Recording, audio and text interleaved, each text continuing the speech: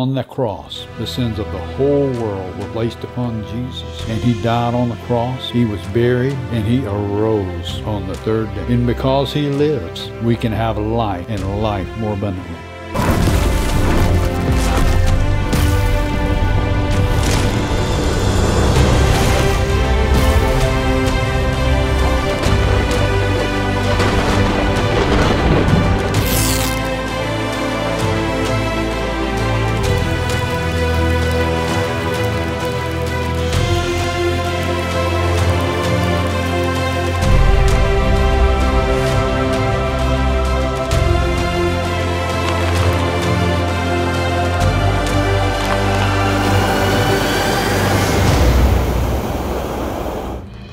When you make Jesus the Lord of your life, you make a decision to turn from your sins and turn to the Lord Jesus Christ and make him the Lord of your life. The Bible says that if we confess with our mouths and believe in our hearts that God raised Jesus from the dead, we can be born again and be saved.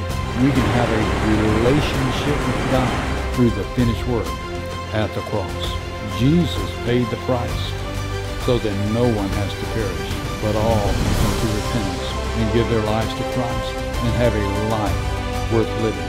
When we turn to Christ, that means that our sins are forgiven, to be remembered no more. We have no past when we come to Christ. He washes us from all of our sins. He begins to rebirth our spirit, and we enter into a relationship with God by faith. That means that we develop a relationship with God, and we grow in our relationship with Him more and more each day.